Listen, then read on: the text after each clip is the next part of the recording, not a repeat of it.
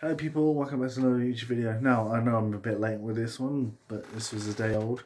So, uh, finally, Gabriel Osho, or Gabriel Osho, has finally signed for Luton Town from Reading.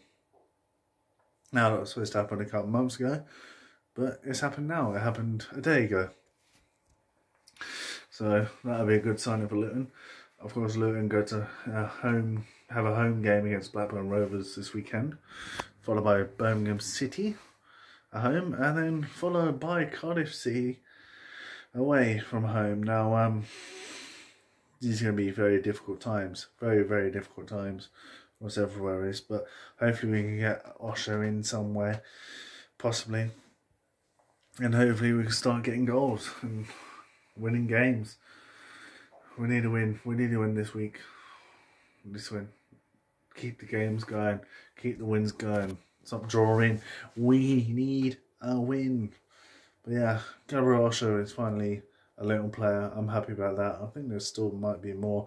I've seen some youth coming in, but I do not remember their names right now. And talking about the senior squad, of course. So yeah, another player into the team.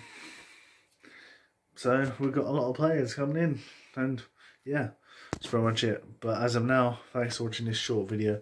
Remember to like, subscribe, share, comment, hit the notification bell, and peace out.